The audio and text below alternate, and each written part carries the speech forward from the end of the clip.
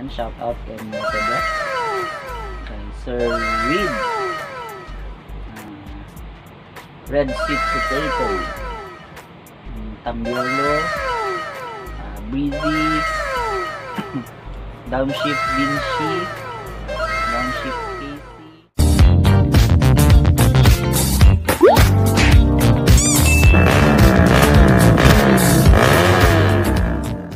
Hello friends, I am Jin and welcome to my channel.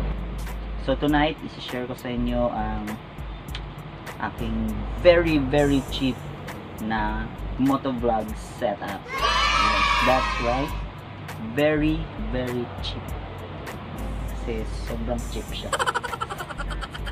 Before I share to you ang aking very cheap na setup, let's talk about first kung bakit bakit akong nawili? Nawili. Bakit ako nawili mag motovlog I, I started motovlog kasi I've been riding my motorcycle for like 8 years. Okay. tapos ngayon ako nag-isip mag motovlog so I've been inspired sa YouTube kay yan shout out kay motovlog. Kay Sir Reed Red Sweet Potato Tambiolo ah, Breezy Downshift Vinci Downshift Casey bago ako nag-search ng um, motovloggers. Bali ang first ko talagang naging sabihin natin na ang first ko na naging inspiration is si Motobot talaga. Kasi ganda yung kuha niya yung content then ah yung mga rides nila. Okay kayo. tapos si Sir Reed din kasi big bike. Kasi ang ganda pakinggan lalo na kung naka kahit siguro hindi pa naka ah, yung open na open pipe maganda siguro pakinggan. So yun so that's why I decided na start from scratch being a moto vlogger So, sa mga hindi pa naka-subscribe sa akin channel, so make sure that you subscribe for updates sa aking mga upcoming na ah, episodes. Episodes ba? So yun. And to start, um, ito ang aking very very cheap na motovlog setup. First is motor, syempre hindi ka makakapag motovlog kung wala kang motor. So, i-reveal ko yan sa inyo siguro next next episodes um, kasi ito pa yung kaya kong gawin ngayon kasi busy sa work. Okay. So, syempre kung bumili ka ng motor, kang helmet. okay, helmet. So ito, libre to siya sa pagbili ko ng motor, libre to siya. So I think yung brand nito is HPH. Kinakpan ko lang siya ng mga sticker. Yan, shout out KYT, uh, Akrapovi, Chinese. Yan, sticker rin sa likod. Meron pa ang GoPro. Yan, dapat merong ICC sticker. So I think okay naman siya na helmet. So yun, first helmet natin. So medyo substandard lang siguro ito siya na helmet. But okay na siya. Yan, full face. Next is camera. Yan. So ito, yung camera ko. Uh, I bought this to my friend. Second hand siya. So yan, I think akala ko SJ cam siya. Kasi nakalagay SJ 7000 plus. Pero yung pag search ko wala siya o hindi siya kasali sa SJ cam. So ang ito ang brand niya.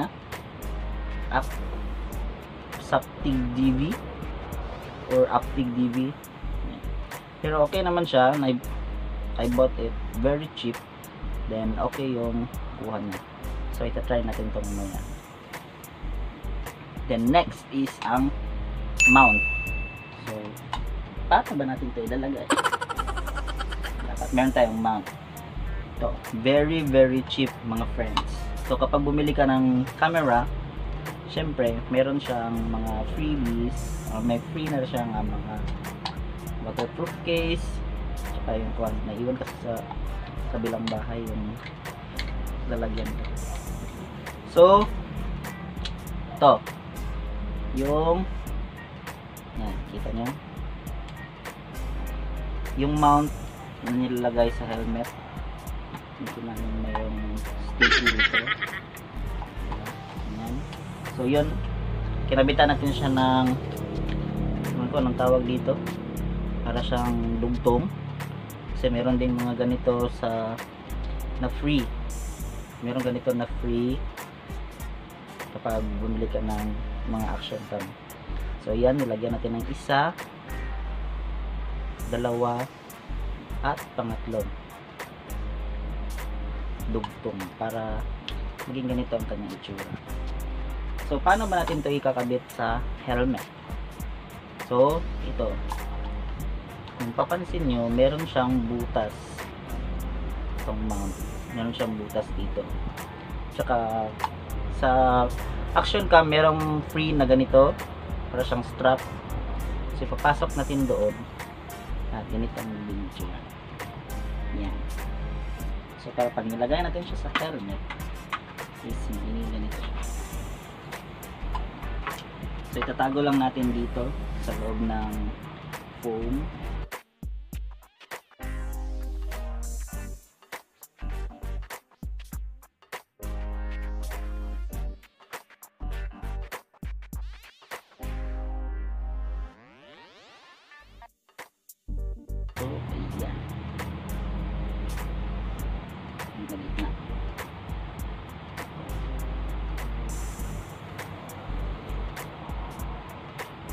Lang natin. At ilala. Then, yung extra na strap is, tago din natin sa ilalim ng foam. So, ayan. Ayan na tayo. Cameraman! So, pwede natin ilagay ang ating camera.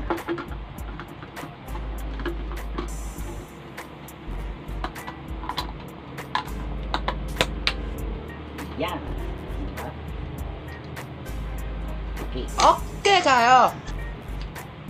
So, kung ganito lang yung setup, medyo pangit yung audio kasi yung hangin, no? Lalo na kung malakas na yung takbo, masyadong malakas yung hangin. So, tunog niya is very, very worse. Di maririnig yung boses mo. So, what I did is, kita ko sa YouTube,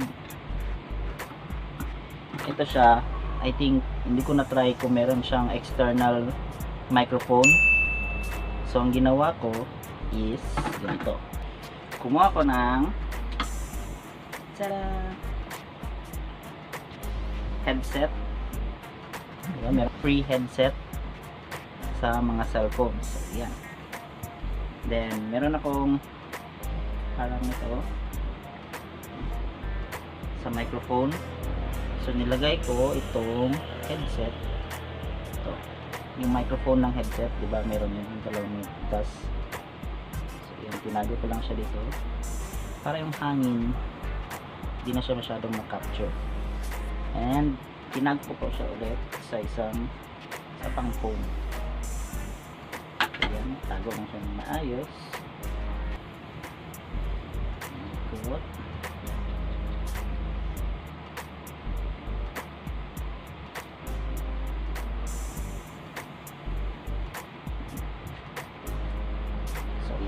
Yan, katago ng ating microphone. At saka may tinahi akong lalagyan. Yan, so pasok natin siya.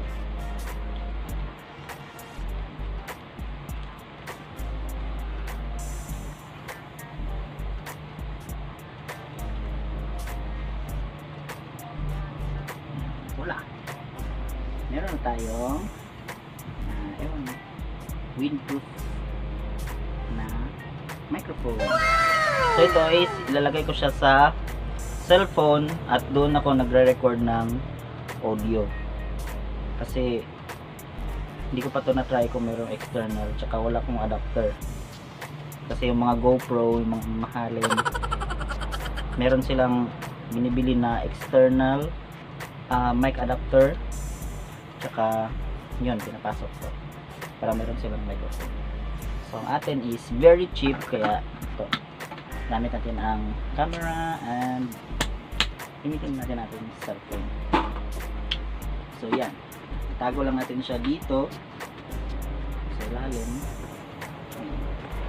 Medyo bulky siya pero very worth it kasi maganda yung quality ng sound na niya.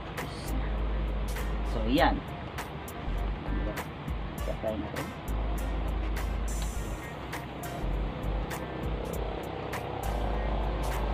Ganito ang magiging itsura ng ating helmet for motovlogging.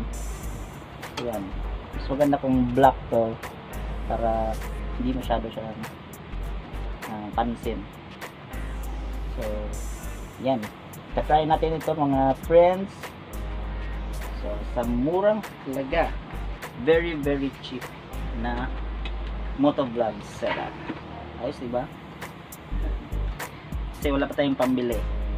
Kaya, tsaga-tsaga muna. So, that's it. Ito try natin siya mga friends.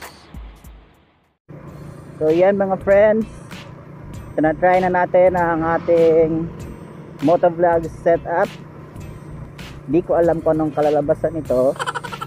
So, I hope okay naman. Okay kayo. So, ngayon, gabi, medyo malakas ang hangin.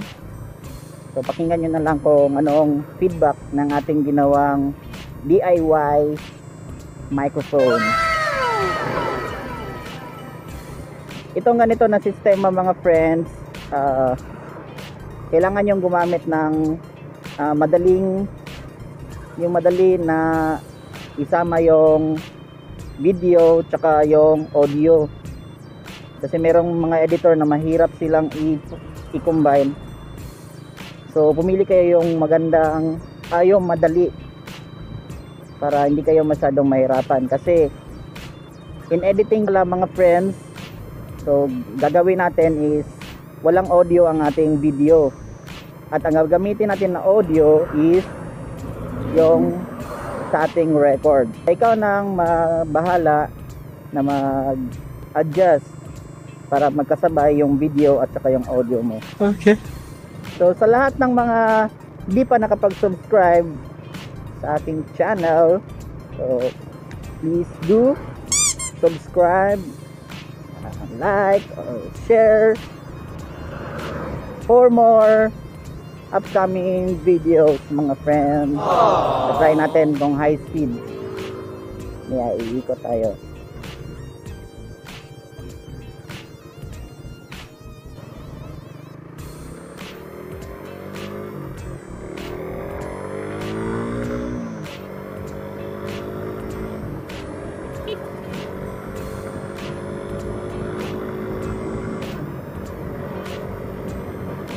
Yan lang, lakas-lakas ng hangin mga friends.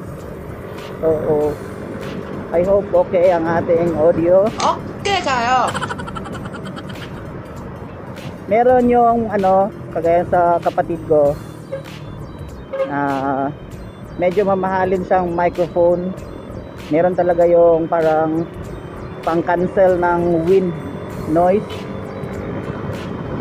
So yun, ganda siyang gamitin kasi wala talagang hiss ng hangin. Okay.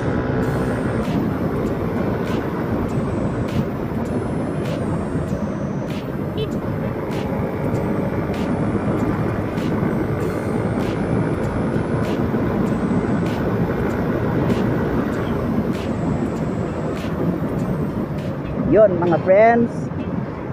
So, kayo nang bahala kung gagamit kayo ng DIY microphone para sa ating motovlog setup. So yun napaka cheap di ba? That's it mga friends.